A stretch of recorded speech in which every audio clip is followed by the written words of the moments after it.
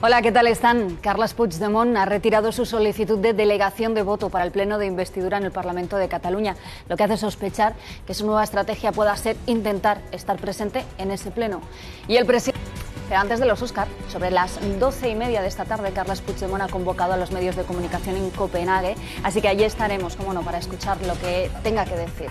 También veremos en directo al presidente del gobierno, Mariano Rajoy, que está hoy en León, la cuna del parlamentarismo. Son ahora mismo las doce y casi tres minutos. Bienvenidos a Asuntos Públicos, Noticias y Debate.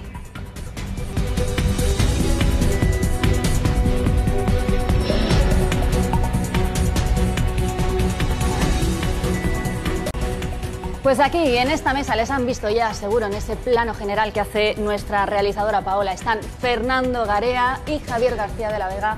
Gracias de nuevo por estar en Asuntos Públicos. Buenos, días. Os voy a pedir, antes que nada, como es habitual en este programa, esa primera impresión breve, a ser posible. Dos cuestiones hoy. La primera, Puigdemont renuncia a su voto delegado desde Bruselas. ¿Vosotros cómo lo interpretáis, Fernando? La cola en la igualdad, y esto lo dice el Foro Económico Mundial que se celebra en Davos, Javier. Bueno, vale. Pero hay algunos contenidos que no quiero que se nos queden por tocar. Vamos a hablar ahora de la reunión de la mesa del Parlamento para abordar la próxima sesión de investidura, para la que el presidente de la Cámara, Roger Turrent, ha propuesto a Puigdemont, Luis Falga.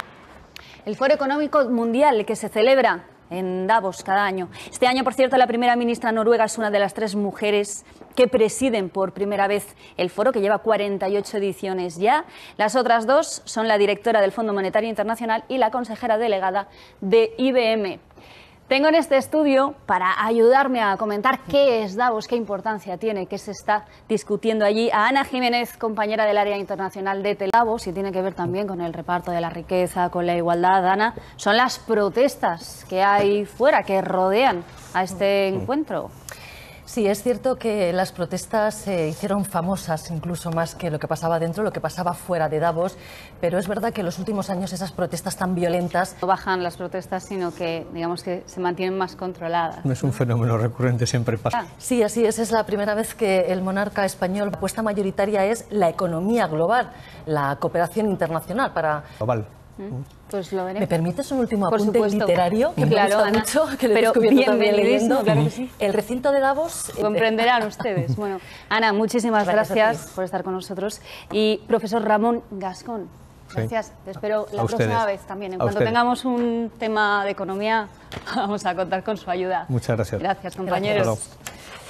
Pues el foro de Davos, eh, donde se está hablando de la igualdad, decía el profesor que no era algo fuera de lo habitual, pero según la Conferencia Europea de Sindicatos, ellos denuncian que en esas jornadas, son cuatro días, los ponentes, los que van allí a... Presidente del Parlamento, independientemente de cuál sea su postura personal en esto, pero puede no proponer como candidato a la persona a la que han señalado la mayoría de grupos de la Cámara. Poder puede, por eso era tan importante el cargo de presidente del Parlamento.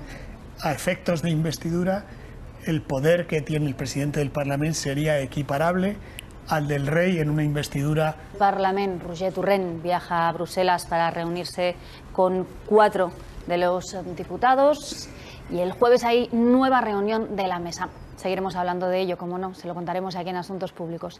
Michel Barnier, el negociador jefe de la Unión Europea para el Brexit, comparece hoy en el Congreso a las tres y media de la tarde para informar de la segunda fase de las negociaciones sobre la salida del Reino Unido de la Unión Europea.